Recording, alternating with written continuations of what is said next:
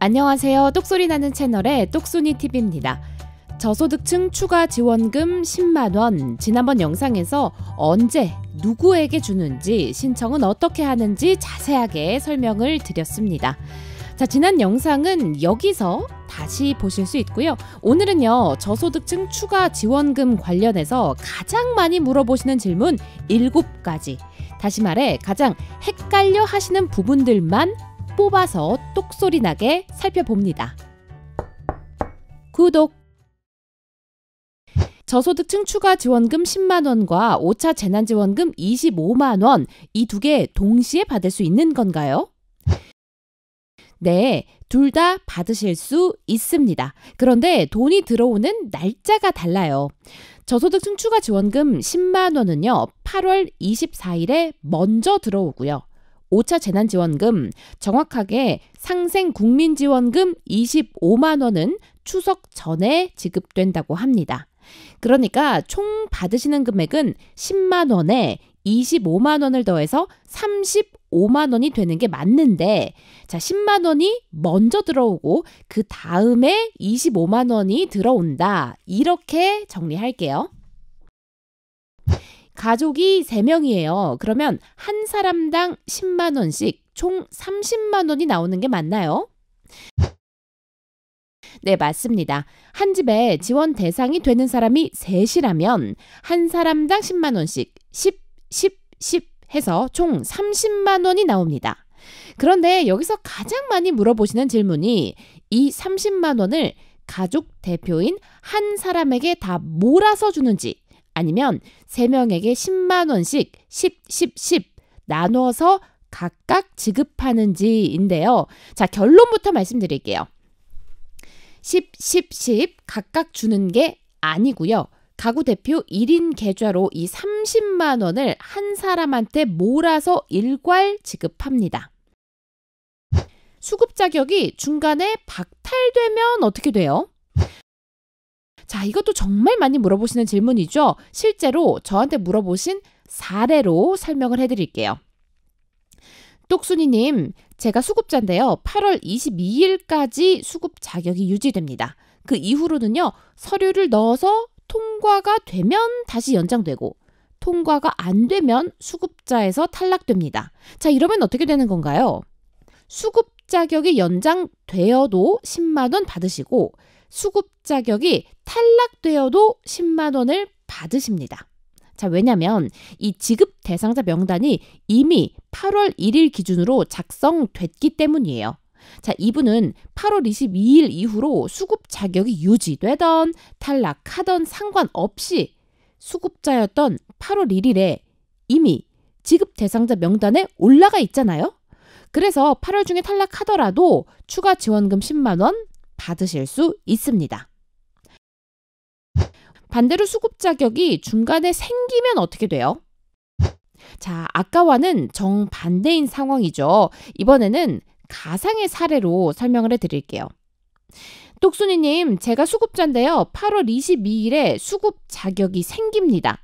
저도 추가 지원금 10만원 받을 수 있나요? 결론부터 말씀드리자면요. 받으실 수 있습니다. 그런데 이런 분들은요, 8월 24일에 받으실 순 없고요. 추가 신청을 하시면 9월 15일경에 받으실 수 있습니다. 자, 그 이유를 진짜 간단하게 설명해 드릴게요. 8월 1일에 명단 작성이 끝났습니다. 그런데 이분은 8월 22일에 수급 자격이 생겼어요. 그러면 이분은 명단 작성이 끝난 다음에 수급자가 됐으니까 명단에 이름이 없겠죠. 하지만 9월 1일 전에 수급 자격을 획득하셨기 때문에 10만원 지원 대상은 맞습니다. 자, 이런 분들은 추가 신청 하시면 되고요. 지원금은 8월 24일보다 조금 늦은 9월 15일경에 받게 됩니다. 지원금이 나오지 않는 건 아니니까요. 늦어지더라도 꼭 신청하세요. 복지급여 수급 자격은 보유하고 있는데 지급이 일시 중지된 상태예요. 저도 받을 수 있나요? 네, 받으실 수 있습니다. 이 지원금 지급 대상을 어떻게 선정하냐면요. 수급 금액이 있냐 없냐가 아니라 수급 자격이 있냐 없냐 이게 중요한 겁니다. 자, 그러면 복지급여 수급액이 빵원이어도 0원이어도 수급 자격을 유지만 하고 있다면 지원금 받을 수 있고요. 복지급여가 일시 중지된 상태여도 수급 자격을 유지만 하고 있다면 역시 지원금을 받을 수 있습니다. 즉, 최종적으로 수급 자격 중지가 된 게 아니라면 지원금은 받을 수 있다는 뜻이에요. 무조건 신청을 해야만 10만원 받을 수 있다던데 맞나요? 아닙니다. 신청을 하지 않으셔도 자동으로 받을 수 있는 분이 있어요. 기초생활보장 생계급여 주거급여 수급자, 차상위 장애인연금이나 차상위 장애수당을 받는 차상위 장애인, 그리고 아동 양육비를 지원받는 한부모 가족. 자, 이런 분들은요, 신청을 하지 않으셔도 됩니다. 기관에서 알아서 확인하고 알아서 수급 계좌에 돈 쏴줍니다. 그런데 반대로요, 신청을 꼭 하셔야 하는 분들도 있어요. 이런 분들은 신청을 안 하면 지원금도 못 받으니까 내가 여기 해당한다면 꼭 신청하세요. 기초생활보장 의료급여, 교육급여 수급자, 차성이 본인 부담 경감, 차성이 자활, 차성이 계층 확인.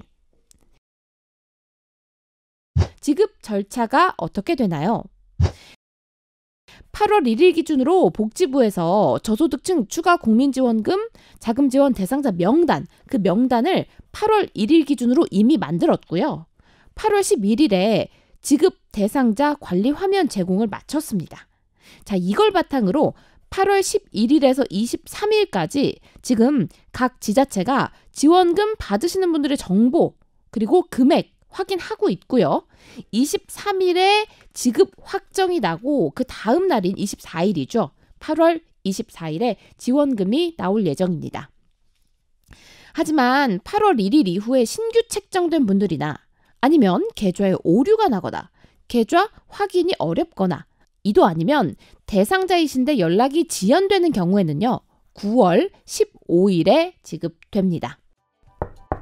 똑순이 TV 오늘은 저소득층 추가 지원금 10만 원 이것과 관련해서 여러분이 가장 많이 물어보시는 질문 7가지, 가장 헷갈려 하시는 질문 7가지에 대해서 똑소리 나게 알아봤습니다. 오늘 영상 유익하셨다면 구독과 좋아요 꼭꼭 부탁드리고요. 저는 다음 시간에 더 똑소리 나는 영상으로 찾아올게요. 고맙습니다.